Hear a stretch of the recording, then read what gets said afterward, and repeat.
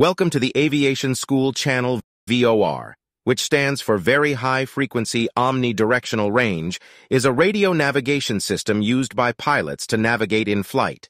The VOR system uses a network of ground-based radio beacons to provide direction and distance information to aircraft.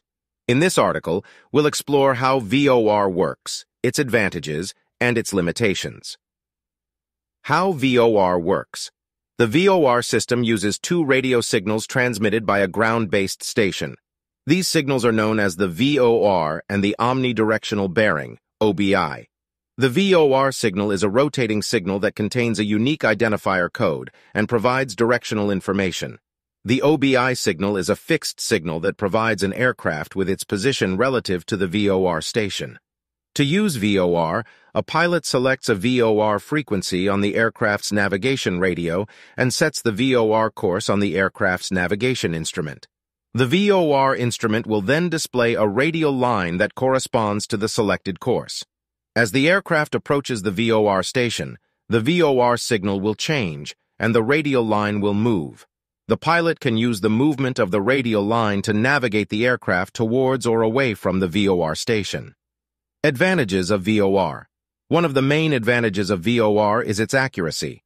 VOR provides precise directional information that allows pilots to navigate to specific points in space.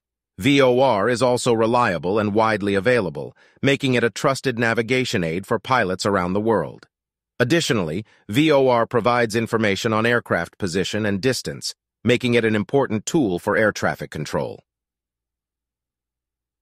Limitations of VOR While VOR is an accurate and reliable navigation aid, it does have limitations.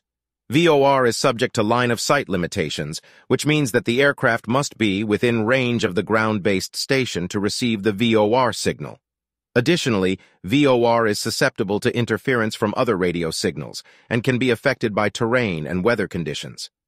Finally, VOR is a relatively old technology and is being phased out in favor of more advanced navigation systems such as GPS. Conclusion VOR is a vital navigation aid that has been used by pilots for decades.